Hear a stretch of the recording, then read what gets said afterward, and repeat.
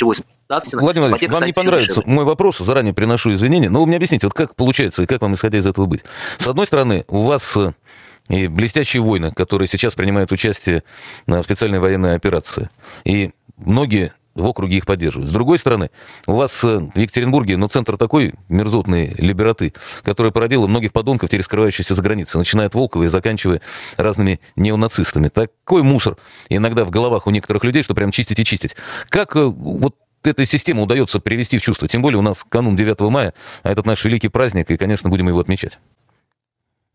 Ну, то, что вы сказали, Владимир, э, нельзя с вами не согласиться. Владимир Рудольфович, мне очень жаль по поводу того, как вы высказались э, в отношении моих земляков, горожан, жителей Екатеринбурга.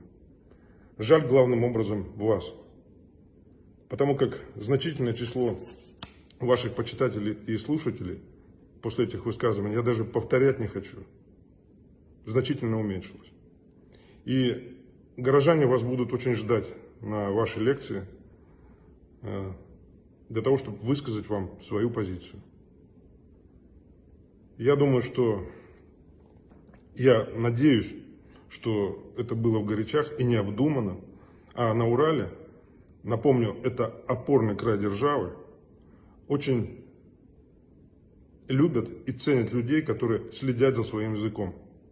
Поэтому я вам желаю следить за своим языком. Людей, которые следят за своим языком. Поэтому я вам желаю следить за своим языком. Это ты мне по понятиям, что ли, пытаешься предъявить? То есть мы теперь я должен говорить как с губернатором? Или там следить за базаром, поганой метлой? И это что вот сейчас было, следить за языком? То есть это ты стрелку, что ли, забиваешь, губернатор? Это что, уралмашевское прошлое сказывается? Не завода, а преступных группировок бандитских? За языком следить? Это у нас теперь государственный муж. А может еще присоединиться Куйвышеву к тем, которые меня грохнуть пытались? Может теперь еще Куйвышев и туда пойдет, а?